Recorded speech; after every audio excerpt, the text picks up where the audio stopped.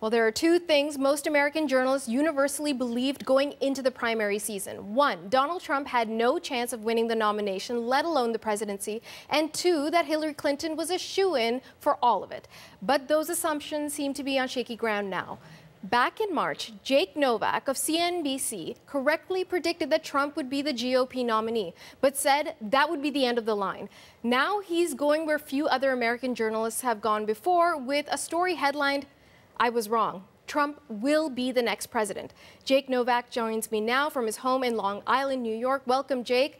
That is quite a change in opinion. What, what made you change your mind? Well, first of all, I looked at the poll numbers. You know, mathematics is mathematics, and the poll numbers continue to be very strong for Donald Trump. And while everyone who, when they presumably start to win the nomination, gets a little bit of a bump in the polls, Donald Trump is not only getting that bump, but he's getting it earlier than usual.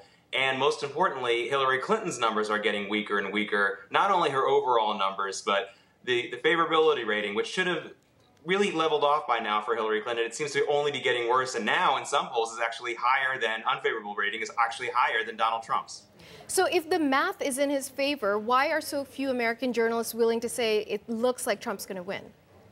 Because everything that we've been taught uh, in not, not not as journalists but as politically and what we've seen historically tells us that somebody like him who says the things he says who attacks his own base so very often cannot win but I think that the time has passed now for us to continue to be in that denial. We've seen what he did in the primaries. We're seeing what he's doing in the general election polls. It's time to stop thinking at what we've always thought and, and start to realize that what he's doing now is shaking up what all the rules were in the past. And he's doing it, and like I said, he is attacking his own base, and yet his the base of the Republican Party is starting to support him in the 90% level. I'm sure that by July in the convention, it'll be back to the 95% level that nominees usually have. Well, you're referencing this unconventional way he's run this campaign, and everything, despite common sense, is working again, uh, working in his favor. What do you make of this political spectacle? Well, this is a reality show campaign. You have to understand something. Donald Trump has been involved in reality TV, the, the best reality TV in this country as far as the way it's produced, for more than 15 years. And what reality shows do the very, very best is they make what has been very weighed, strategized, and considered look like it's off the cuff, look like it's completely unrehearsed. It's very rehearsed. It's very staged. It's very, very calculated. So when Donald Trump starts talking, it might, might drive you crazy. You might hate everything he says, but what he's winning, the where he, where he is winning, folks, is that he's making it you feel like you know him.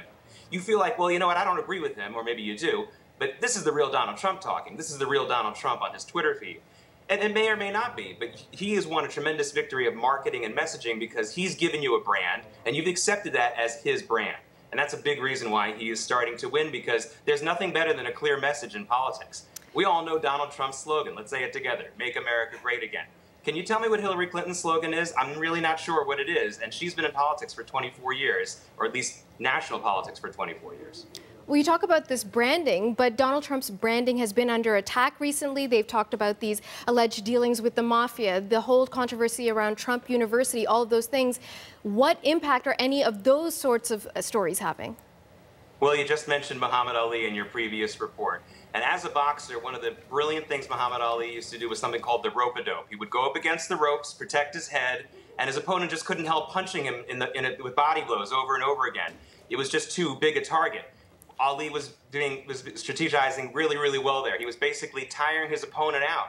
And after being on the ropes for a few moments or even a minute or so, he would come off the ropes, his opponent was exhausted, and then Ali would come in for the for the kill blow. So every time the news media or Hillary Clinton goes after him for every little thing, whether it's Trump University or some other comment that he's made, there's two mistakes that she's making. First of all, she's repeating his message over and over again. If you take a look at Donald Trump's Twitter feed, it's all about Donald Trump. If you take a look at Hillary Clinton's Twitter feed, it's also all about Donald Trump. And, and if you are hadn't heard the message yet, you're hearing it again.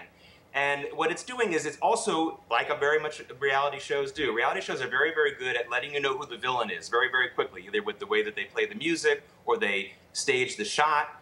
And Donald Trump says, hey, they're going to attack me for all these things. And then walking right into a trap, Hillary Clinton and the media do exactly what he said they were going to do. And it makes it look like he really knows what's going on. And if you're an undecided voter who hasn't voted the last few elections, this guy is really speaking to you. Wow, good analysis. Thank you so much, Jake. My pleasure. Jake Novak of CNBC joining us from Long Island, New York.